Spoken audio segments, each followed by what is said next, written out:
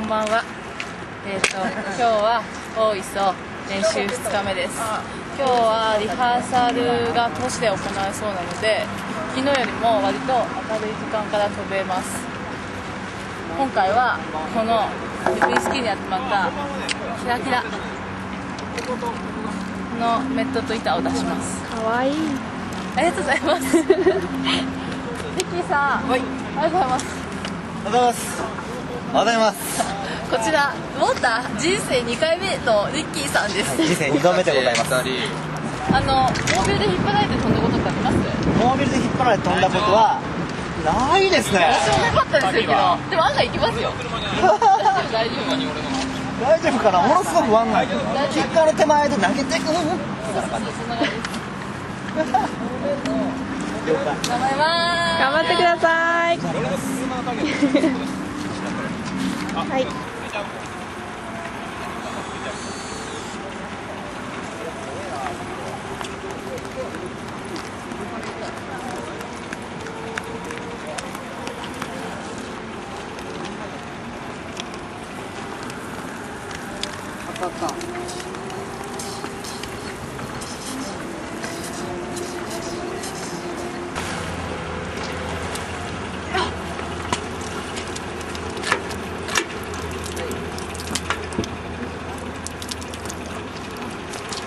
今日は昨日よりも早く準備が始まってるけどキ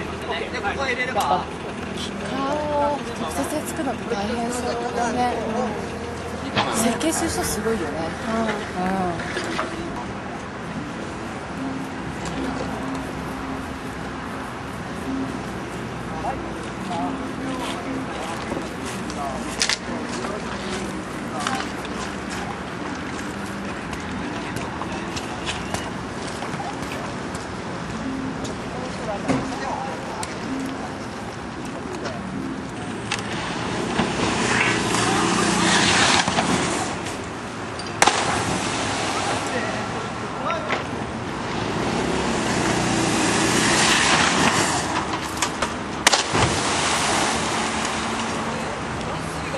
な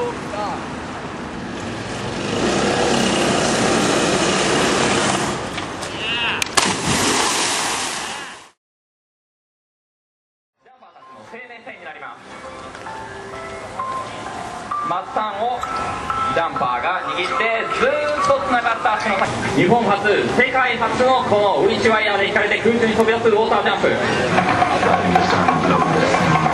さあタイムオーバー。時間がやってきました。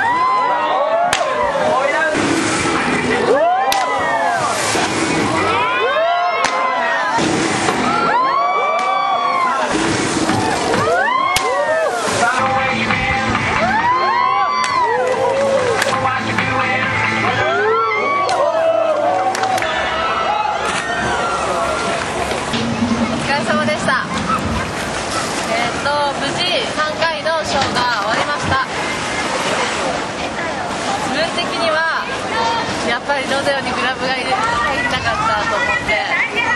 こう。やっぱそこでねいやーロゼオグラブ入んなかったとか思っちゃう時が私なんですけど。でもショー自体はいつものその大会とかの緊張感とはまたちょっと違う。楽しい緊張感があってこう見せるっていう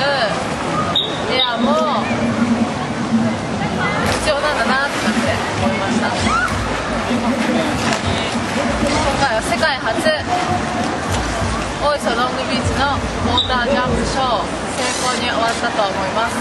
これから撤収作業をして帰りたいと思います大勢のスタッフのみんなが設営からサポートまでしてもらって初めてできた世界初のウォータージャンプだと思います。今後もするかもしれないのでその時にはぜひグラブを入れてまた挑戦したいと思います。お疲れ様